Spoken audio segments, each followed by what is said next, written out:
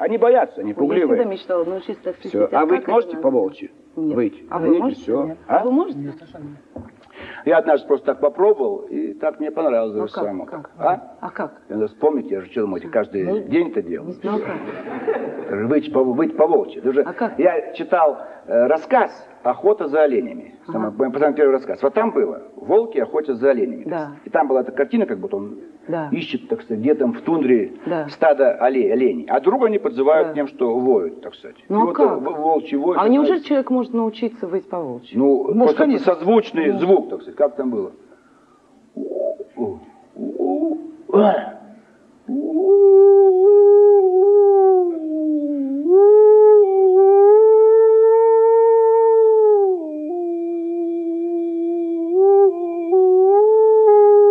С вами поговорил, немножко сдвинулось. э, Нужно пониже, пониже взять. То есть вот это вот его волчий вой, он как бы изнутри, из души, он зовет своих соплеменников, чтобы вместе колхозом, так сказать, Ага. затравить какого-то бедного э, у- оленя, так сказать. Опять трагедия, знаете, вот с детства писатель опять как бы вот вызывает жалость.